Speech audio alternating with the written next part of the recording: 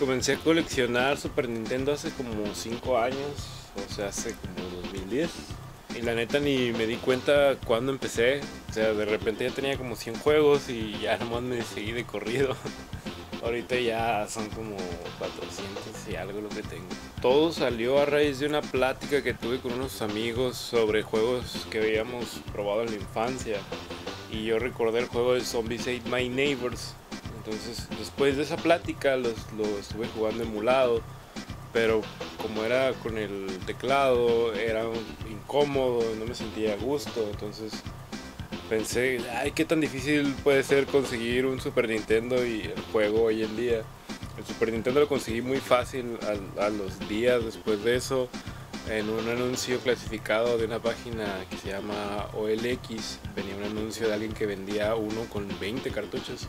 Traía los clásicos, traía Mario, traía los Street Fighter, traía Mortal Kombat, traía Killer Instinct, traía los Donkey Kong Country, los de siempre. Pero el juego de Zombies Ate My Neighbors tardé nada más y nada menos que dos años en conseguirlo. Entonces, en el transcurso de esos dos años ya había conseguido bastantes juegos, porque como siempre he frecuentado los Yangi, los sobre ruedas, las segundas, todo eso que implique chácharas, siempre, siempre me ha gustado, entonces ya tenía bastantes entre juegos que me habían recomendado, juegos que recordaba de la infancia, juegos que estaban baratos y los agarraba porque se miraba bonita la portada. Colecciono Super Nintendo porque me trae muchos recuerdos, o sea, me remonta una parte de, mi vida que estaba muy padre. Todo, todos los, los amigos que tenía, toda la gente con la que convivía tenía Super Nintendo. Entonces, aunque tú no tuvieras juegos, siempre podías conseguirlos prestados. Yo en ese entonces tenía como 5, 6, 7 juegos tal vez. Y siempre los cambiaba y conseguía otros. Así es como llegué a jugar bastante. Y algo de lo que me gusta también de coleccionar hoy en día es que a veces vienen amigos o primos así. Y entran a mi cuarto y ven los juegos en las paredes. Entonces se acuerdan de cuando ellos eran niños y jugaban Super Nintendo y me dicen de juegos que ellos tenían, oye, yo tenía uno de, un pato que brincaba y traía vestido, traía traje de ninja, y ah, no es este, les enseño el Mau y Malar colchado, y dicen, ah, mira qué cabrón, eso me gustaba un chingo. Ah, es, un momento muy nostálgico para todos.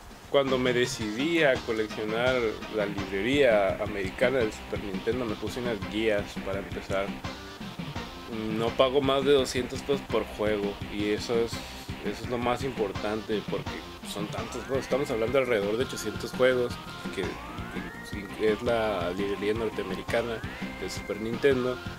Entonces 200 pesos es mi límite. Hasta la fecha no he tenido que gastar más de eso. Y eso es hablando de efectivo, de porque eh, cuando he hecho cambios, sí he dado eh, juegos que a lo mejor tienen un valor mayor de 200 pesos, pero como a mí no me costaron eso, a mí me costaron más baratos, pues no, no me pesa. La otra regla que en realidad se deriva de la primera es que en este límite que me puse, que hoy en día realmente eh, algo bajo, no puedo ser muy exigente con la condición en la que se encuentran los juegos, ya que gran parte del precio de estos juegos hoy en día depende de la calidad en la que se encuentran. Entonces yo me quedo con los juegos feos. tengo muchos que no tienen portada. Tengo juegos que tienen la portada destruida. Eh, juegos que venían quebrados y pasé a otros cartuchos. La magia de estos juegos es que 20 años después siguen funcionando como si nada. Nada más les pasas un poquito de alcohol o limpias un poco y sirven muy bien. Y la tercera regla que tengo es no guardar repetidos. En parte porque se me hace que le quitas la oportunidad a alguien más de, tener el juego. Y, en parte porque a mí me quita mucho espacio. Yo no tengo mucho espacio ya en mi cuarto, entonces de por sí con lo que tengo ya no quepo yo. Entonces tener juegos repetidos pues me quita mucho espacio.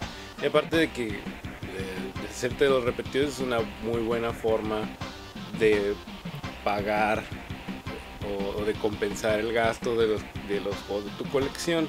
En parte, gran parte de los juegos que yo tengo me ha salido gratis utilizando este método. Que iba sobre ruedas al tianguis y compraba unos juegos que me iba a quedar yo y luego compraba unos juegos que iba a vender y esos juegos que, iban a que iba a vender, con esos juegos que iba a vender iba a pagar eh, lo que me habían costado los juegos que yo me iba a quedar. Entonces, win-win situation. Esto de coleccionar juegos me ha traído muchas cosas aparte de los juegos, me he conocido mucha gente.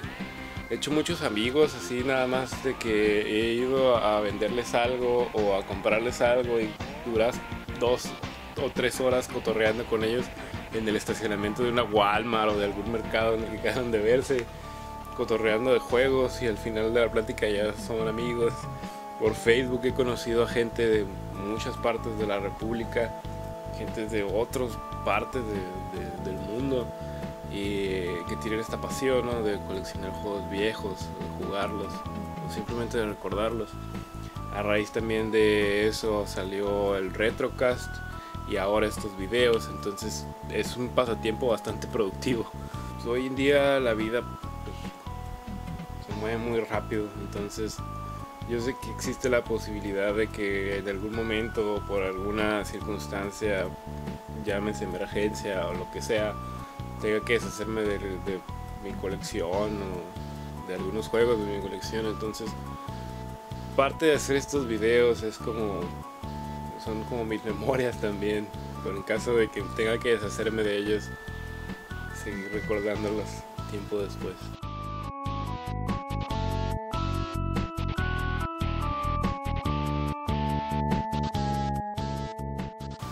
siente muy extraño salir en cámara.